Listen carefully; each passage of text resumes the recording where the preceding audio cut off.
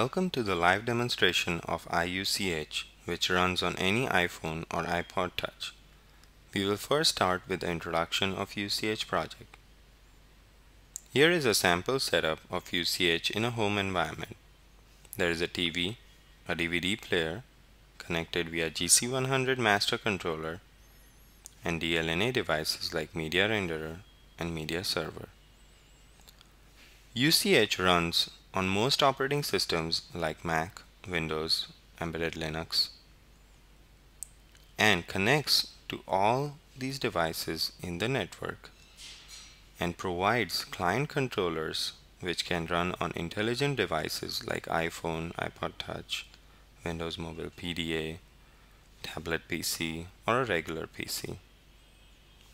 IUCH is an iPhone or iPod Touch application which connects to the UCH via the local wireless network and uses Bonjour to display a list of available client controllers.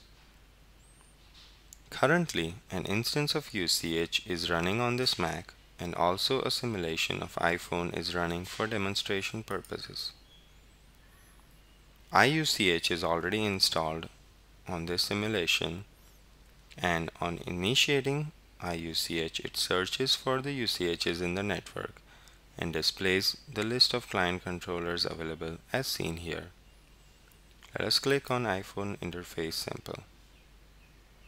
IUCH forwards to a Safari browser which opens the application from the UCH.